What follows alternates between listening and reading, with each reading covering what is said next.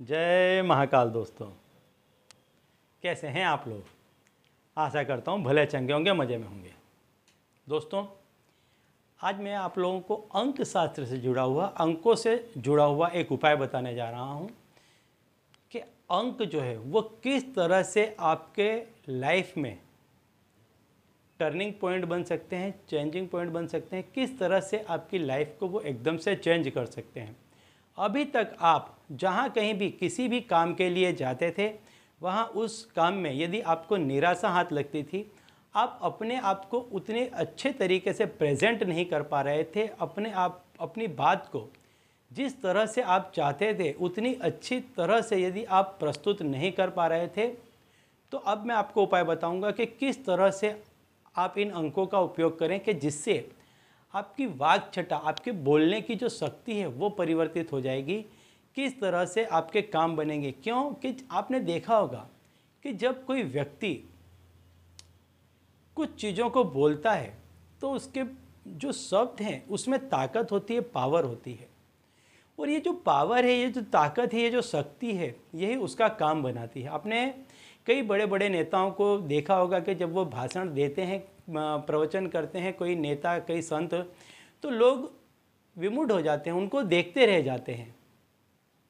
तो ये जो उनकी वाकचटा है, बोलने की जो, उनकी ये जो शक्ति है, कुछ लोगों में बाय डिफ़ॉल्ट कुदरती होती है। कुछ लोग इसको ट्रेनिंग लेकर के विकसित करते हैं और कुछ लोग इस तरह से अंकों का उपयोग करके या अन्य कितने ही ऐसे रीत हैं ज्योतिष शास्त्र में बताई गई कि जिसका प्रयोग करके इंसान इस तरह की क्रियाएँ करता है कि जिससे यदि वो कहीं पर भी जा कर के, कितने ही लोगों के बीच में जा कर के जो कोई भी बात बोलता है तो सारे ही लोग उसकी बात मानने को विवश हो जाते हैं। उन, उस व्यक्ति की बात, वे लोगों को ऐसा लगती है कि ये उनकी ही, उन्हीं की बात है, उनके अंदर से ही निकली हुई आवाज़ है। और जब व्यक्ति को ऐसा लगता है कि ये मेरी ही आवाज़ है, ये मेरी ही सोच है तो तब व्यक्ति उस सोच को नकार नहीं सकता है, इनकार नहीं सकता है और ऐसे में सामने वाले व्यक्ति के काम बनने लग जाते हैं। तो आज मैं आप लोगों को जो अंक दूँगा, इस अंकों के प्रभाव इतने हैं। मैं आपको अंकों के बारे में भी बता दूँगा, जानकारी दे दूँगा कि किस अंक का क्या प्रभाव है, इससे क्या आपको बेनिफिट मिलेगा, किस तरह की आपकी स्किल्स डेवलप होंगी और किस तरह से इन ग्रह से संबंधित लोग या इन ग्रह के दायरे में आने वाले लोग स्वतः ही आपकी बात सुनने लग जाएँगे और मानने लग जाएँगे। जब ज़्यादातर लोग आपकी बात सुनने लग जाएँगे, मानने लग जाएँगे तो ऑटोमेटिकली आपके काम बनने लग जाएँगे।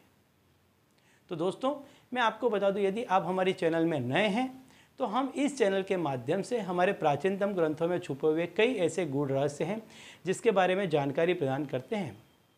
तो यदि आप भी इसी तरह की जानकारी में रुचि रखते हैं, यदि अपने ज्ञान को बढ़ाना चाहते हैं तो अभी हमारे चैनल को सब्सक्राइब कर लीजिए। तो चलिए दोस्तों, मैं बताता हूँ आपको वो अंक जिसके उपयोग से आप जैसा चाहते हैं उस तरह का काम हो जाएगा। आपको पैसे, टके काम काज व्यवहार, हर जगह आपका बहुत अच्छी तरह से होने लग जाएगा। तो जो सबसे पहला अंक आपको लिखना है, वो सात का अंक लिखना है। सात का अंक का मैं महत्व आपको बता दूँ कि सात का अंक काफ़ी लकी नंबर है। सात का अंक जिस व्यक्ति के साथ जुड़ जाता है, उस व्यक्ति का अपने आप भला होने लग जाता है, स्वतः उसका लाभ होने लग जाता है। सात अंक के व्यक्ति वाला नंबर वाला व्यक्ति जिस किसी व्यक्ति से मिलेगा, अपने आप उसको लाभ होने लग जाएगा। ऐसा व्यक्ति जिसका मूलांक सात हो, यदि वो आपका मित्र है और आप उसके साथ में कहीं जाते हैं तो आपको अपने आप जिस जगह उसे लेकर के जाएँगे, वहाँ आपको लाभ होने लग जाएगा। तो पहला जो अंक आपको लिखना है, वो सात का लिखना है। सात का अंक लिखने के बाद आपको पाँच का अंक लिखना है। पाँच का अंक बुद्ध का अंक है, युवा अंक है, जोशीला अंक है, उत्साहित करने वाला है, कुशाग्र बुद्धि देता है। आपको वाणी बहुत आपकी तेजवान बना देगा।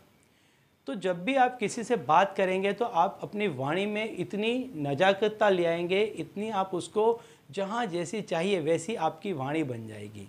तो इसको सुन करके लोग अभिभूत हो जाएँगे। साथ ही साथ आपको कुशाग्र बुद्धि देगा। जब आपकी बुद्धि एकदम तीक्ष्ण होगी, तब आपको समझ में आ जाएगा कि आप सामने वाले का दिमाग पढ़ लेंगे और आपको कब कैसा अपने आप को प्रस्तुत करना है, ये आप समझ जाएँगे। तो आपको लिखना है सात, फिर पाँच इसके बाद आपको लिखना है दो का अंक। जो दो का अंक है, वो चंद्र का अंक है। चंद्र जो है, वो आपके मन का कारक है, आपके मन पर उसी का शासन चलता है। तो इससे क्या होगा, आपका जो मन है, जो ऐसे चंचल रहता है, इस तरह से आपका मन चंचल नहीं रहेगा। आपका मन ठहरा हो रहा है, ठहरा हुआ रहेगा। और जब आपका मन स्थिर रहेगा, एक जगह पर रहेगा तो आप जिस जिन लोगों से मिलेंगे, उन सब के मन को आप स्थिर कर देंगे। उनके मन विचलित नहीं हो पाएँगे। जैसे एक कुशाग्र घोड़े सवार है, जिसको बहुत अच्छे से आता है घोड़े चलाना, वो किसी भी घोड़े पर अगर बैठेगा तो उसको अपने हिसाब से चला लेगा। तो इसी तरह से आप हर एक व्यक्ति के मन को समझ जाएँगे और आप जैसा चाहेंगे, उतनी शांति से, उतनी धीरज से आप बात कर पाएँगे और सामने वाला व्यक्ति आपके बातों की डेप्थ में डूबता चला जाएगा। तो जो तीसरा अंक है वो दो का अंक है। अब मैं आपको बताता हूँ चौथा अंक आपको कौन सा लिखना है? चौथा अंक आपको एक का लिखना है, जो कि सूर्य का है। सूर्य का जो अंक है, वो आपको सेंटर में लेकर के आता है, क्योंकि सूर्य जो है वो ग्रहों का राजा है, सेंटर में है। तो आपको सेंटर में लेकर के आएगा। जब आपको सेंटर में लेकर के आएगा तो आपने देखा होगा कि हर चीज़, घड़ी की सुई से लेकर के किसी भी चीज़ को आप देख लीजिए, जो सेंटर में होता है, वही महत्व का होता है। यदि व्यक्ति सेंटर से हट गया तो कहीं का नहीं रहता। तो आप सेंटर में रहेंगे। आप किसी के भी बारह बजा सकते हैं, किसी के भी छः बजा सकते हैं। मतलब आप जैसा चाहेंगे, वैसा सामने वाले से अपना काम निकाल पाएँगे। तो आपको जो अंक लिखने हैं, वो हैं सात, पाँच, दो, एक। ये अंक आपको लिख लेने हैं। इन्हें आप लाल रंग से भी लिख सकते हैं और यदि चाहें तो इन अंकों के जो जो रंग हैं, इनसे भी आप इनको लिख सकते हैं। वाइट प्लेन पेपर में लिखने हैं। इनको लिख करके आप अपनी जेब में अपने पर्स में रखें और इनका जो प्रभाव है, इसे लगातार आप याद करते रहें। जहाँ कहीं भी, किसी भी कार्य के लिए जब भी जाते हैं तो इन अंकों को अपने घर से निकलने से पहले सीधी हथेली में ले करके ऐसे कुछ देर तक देखें और इनका जो प्रभाव है, उसको महसूस करने की कोशिश करें। और इसके बाद अपने कार्य में निकल जाए। आप जहाँ कहीं भी, किसी भी कार्य में जाएँगे, वहाँ आपको, आपकी मन चाही सफलता प्राप्त होगी। ठीक है? तो चलिए दोस्तों, अब इसी उपाय के साथ मुझे दीजिए विदा और आप लोग देखते रहिए दीव प्रकाश और अपने जीवन में लाभान्वित होते रहिए। धन्यवाद।